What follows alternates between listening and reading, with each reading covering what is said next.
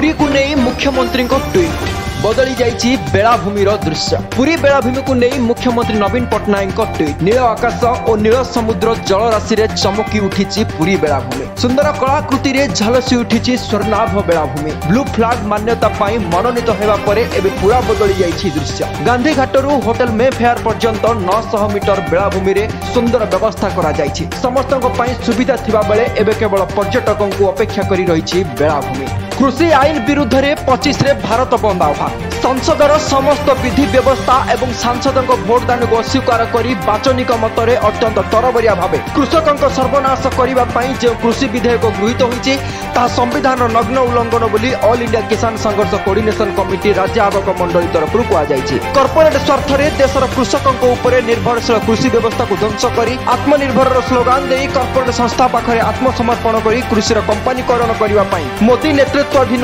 BJP সরকারর এক ষড়যন্ত্র বলে কৃষক ସଂଗଠନ ନେତୃବୃନ୍ଦ କହିଛନ୍ତି ଏବେ ଅନଲାଇନରେ ଜମା କରିହେବ ଖଜଣା ମାନ୍ୟବର ମୁଖ୍ୟମନ୍ତ୍ରୀ ଶ୍ରୀ ନବୀନ ପଟ୍ଟନାୟକଙ୍କ ମୋ ସରକାର ଏବଂ ଫାଇଭ୍ ଟି କାର୍ଯ୍ୟକ୍ରମ ଅଧୀନରେ ଅନଲାଇନରେ ଖଜଣା ପ୍ରଦାନକୁ ସୁଗମ କରିବା ନିମନ୍ତେ ଇ ପାଉତି ପୋର୍ଟାଲ ଏବଂ ପାଉତି ମୋବାଇଲ ଆପ୍ ବ୍ୟବସ୍ଥା ଆରମ୍ଭ କରାଯିବ ପରିବର୍ତ୍ତନଶୀଳ ବ୍ୟବସ୍ଥାରେ ଲୋକଙ୍କୁ ତ୍ୱରିତ ସେବା ଯୋଗାଇବା ପାଇଁ ଏହା ଅତ୍ୟନ୍ତ ଉପଯୋଗୀ ସାବ୍ୟସ୍ତ ହେବ ପାରାଦୀପ ବନ୍ଦରକୁ ପ୍ରବାଦ ପୁରୁଷ ବିଜୁଙ୍କ ନାମରେ ନାମିତ କରିବା ପାଇଁ ରାଜ୍ୟସଭାରେ ଦାବି କଲେ ବିଜେଡି ସାଂସଦ ପ୍ରସନ୍ନ ଆଚାର୍ଯ୍ୟ ବିଜୁ ପଟ୍ଟନାୟକ ନବ ଉତ୍କଳର ନିର୍ମାଣ ସ୍ୱାଧୀନତା ସଂଗ୍ରାମରେ ତାଙ୍କର ଯୋଗଦାନ ଉଲ୍ଲେଖନୀୟ ନେତୃତ୍ୱ ଏବଂ ତାଙ୍କ ସାହସ ପାଇଁ ଜାତୀୟ ସ୍ତରରେ ପରିଚିତ ପ୍ରବାଦ ପୁରୁଷ ବିଜୁ ପଟ୍ଟନାୟକଙ୍କ ଅବଦାନକୁ ଆଖି ଆଗରେ ରଖି ତାଙ୍କ ସ୍ମୃତିରେ ପାରାଦୀପ ବନ୍ଦରକୁ ତାଙ୍କ ନାମରେ ନାମିତ କରାଯାଉ ଏବଂ ଏହାର ନାମ ବିଜୁ ପଟ୍ଟନାୟକ ପୋର୍ଟ ଟ୍ରଷ୍ଟ ରଖାଯାଉ ବୋଲି ପ୍ରସ୍ତାବ ରଖିଛନ୍ତି ସାଂସଦ ପ୍ରସନ୍ନ ଆଚାର୍ଯ୍ୟ ଏବଂ ତାଙ୍କର ଏହି ଦାବିକୁ କଂଗ୍ରେସ ସମାଜବାଦୀ ପାର୍ଟି ଏବଂ ଡିଏମ୍କେ ସମର୍ଥନ କରିଛନ୍ତି